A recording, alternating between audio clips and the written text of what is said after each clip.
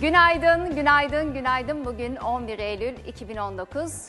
Çarşamba haftanın 3. işlem günündeyiz. Sabah ekranıyla karşınızdayız. Ben Serpin Alparslan. Haber turuyla başlıyoruz efendim.